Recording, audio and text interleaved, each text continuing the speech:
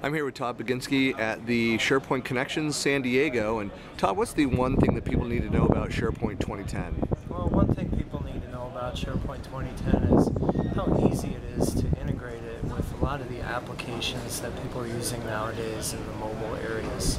Uh, for example, you can create Windows Phone 7 applications. You can also make Android or iOS applications that interface with SharePoint.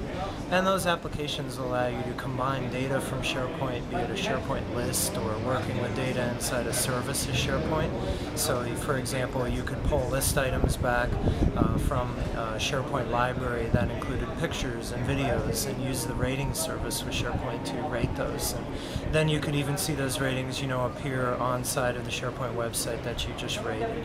So that's one thing that you can do with Windows Phone 7 and SharePoint. Uh, some of the other things that you can do is combining data from the SharePoint website with other external resources such as Azure or SQL Azure.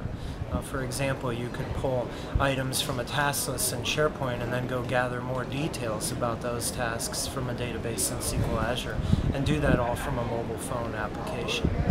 So those are some things that I've seen recently that is the one thing you need to know you can do with SharePoint 20.